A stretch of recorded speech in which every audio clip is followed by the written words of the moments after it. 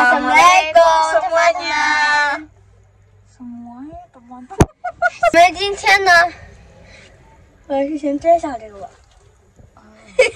Ganjil. 我们今天呢就是就是要捐赠东西给别人。Sekarang kita mau beli untuk keperluan eh, pesanan ya. Kebetulan ada yang pesan lagi risoles juga eh, pastel. Sekalian beli keperluan untuk eh, yang lainnya ya. Ayo sekarang kita berangkat. Sekarang mumpung harinya lagi bagus ya, tidak terlalu dingin, ada matahari. Saya sudah ada di grosir sembakonya. Di sini saya beli mie telur 3 dus, juga beli tepung terigu, eh, juga kecap asin ya. Kalau untuk beli sayurannya, eh, suami saya sudah beli separuh, saya hanya beli sedikit 还有 aja. 米粉什么的，你们可以参考一下。等着以后买的就要买咱们这种，我们这种就是很好的。咱们看一下啊。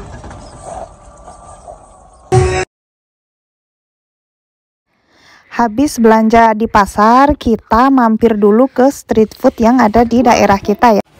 Di sini bagian yang jual daging-daging juga sayuran yang sudah dimasak. Ada juga yang jualan eh, sayuran-sayuran yang masih segar ya. Tempatnya sangat luas sekali. Eh, saya ini mau langsung ke street food untuk eh, jajanannya. Seperti yang kita lihat di sini ada berbagai jenis sate dari mulai sate kepiting, sate kulit tahu, juga ada sate daging kambing dan juga daging sapi. Saya dengan anak-anak mau cari eh, tahu busuk ya seperti biasa, juga sate eh, dari tepung.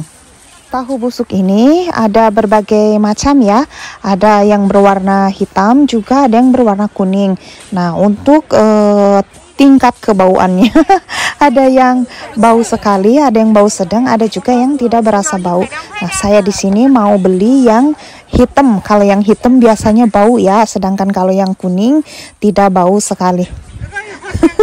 Maaf ya teman-teman, itu bondus saya udah nggak tahu bentuknya, udah mau menutupi mata saya. Makanan-makanan yang saya beli ini makanan halal ya tentunya. Ini ada bakso sapi, bakso udang, juga ada da- tahu. Kalau tidak ada tulisan halal, biasanya saya akan bertanya langsung ya ke penjualnya dan penjualnya akan memberitahu saya kalau ini semua eh, apa terbuat dari sapi ataupun ayam. Kita beralih ke tempat tahu busuk. Nah, ini tahu busuk pesanan kita ya lagi dibikinkan. Nah, untuk tahu busuknya sendiri, eh, setiap daerah mempunyai bumbunya masing-masing ya. Nah, kalau di tempat kita tahu busuk dikasih juga dengan sayur eh, asem. Untuk harga ada dua macam. Kalau kita beli eh, mangkok kecil harganya 10 yuan. Kalau kita beli mangkok besar itu 15 yuan. Nah, untuk isi tahunya kalau yang mangkok kecil hanya 10, sedangkan kalau yang eh, mangkok besar isinya 15 ya. Jadi terus kita beli juga sate eh, dari tepung ya. Kalau di sini dibilangnya kom yanjir. 现在我们回家了。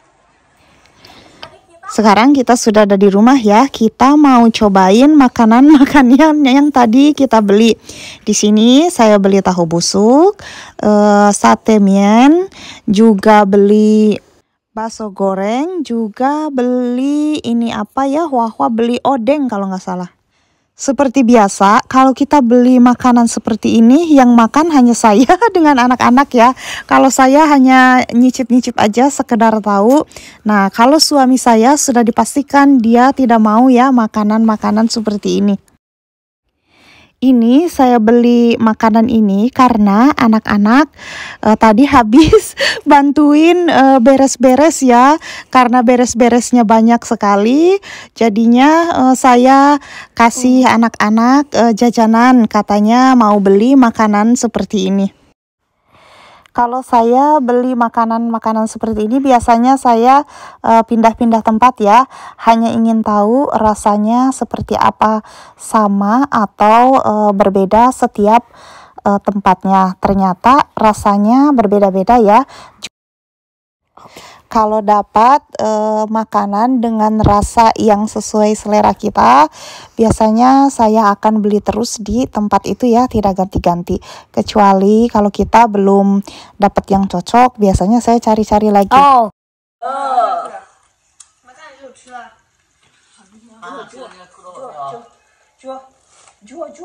Kita cobain tahu busuknya. Ini harus Kalau dengan yang di supermarket yang pakai plastik-plastik yang udah dibungkus-bungkus itu beda dengan yang langsung dibikin.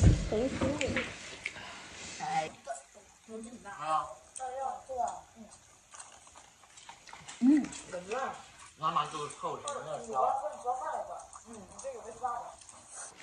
Kalau yang ini bau, kalau yang uh, putih tadi nggak terlalu bau ya biasa aja.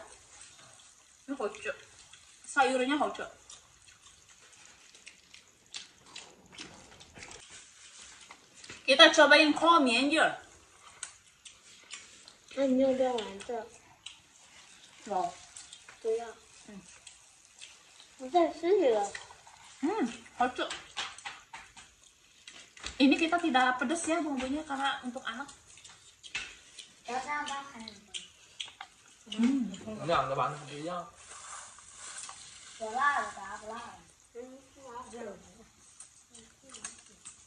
个版本不一样。有辣的，啥不辣的？嗯，太好吃了，好吃，这个豆臭豆腐 bau nggak? Sedikit bau, sedikit bau.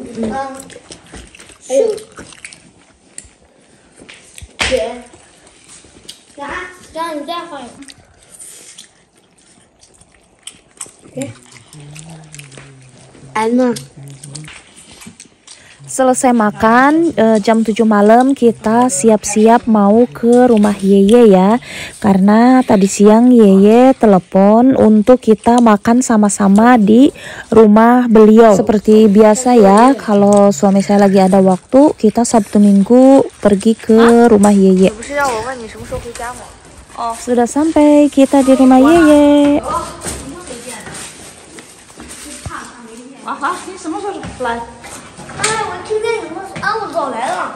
Kita sudah sampai.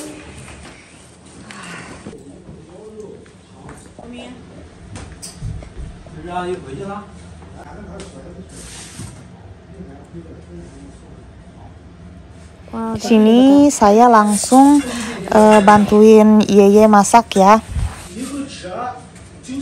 Terus pisahin buah pirnya ya untuk saya cuci. Jadi nanti kalau ada yang mau makan tinggal makan saja, tidak perlu dicuci lagi. Kebetulan hari ini Ainya lagi pulang ke kampung halamannya ya. Jadi hanya ada Yeye sendiri di rumah. Selesai cuci bersih pir, saya langsung rebus mie. Kalau untuk sayurnya tadi Yeye sudah bikin duluan.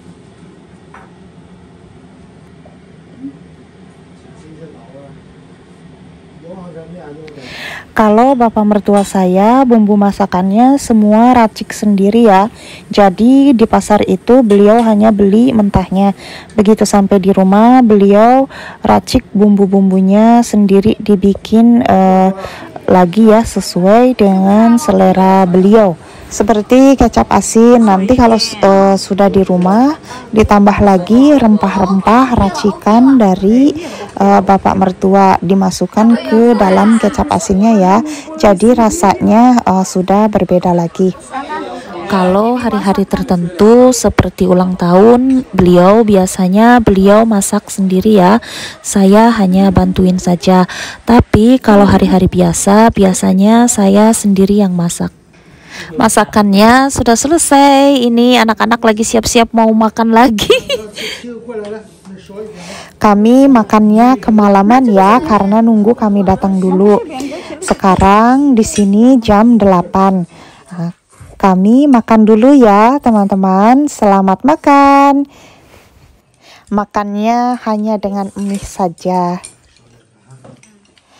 Kalau mertua saya memang tidak terlalu suka uh, makan nasi ya, jadi seringnya makan manto ataupun makan mien. Selesai makan, anak-anak pada mencar-mencar. Yang dua ini langsung nonton TV karena diizinin. Ini Cece Ting Ting langsung dia ngerjain PR ya karena PR-nya banyak banget. Hmm? Wah, banyaknya PR.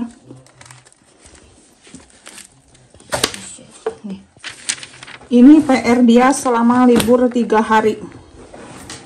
Ditulis ada banyak. Waktu ini semuanya. Wah. Wah, semua dua.